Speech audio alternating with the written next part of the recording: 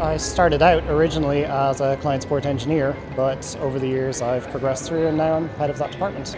The thing I like best about working with TERMINALFOUR is dealing with clients all over the world. I really like dealing with people and it's fabulous that I get to speak with and meet with people from all walks of life, their challenges, their lives. It's what keeps me interested and it's what I really enjoy.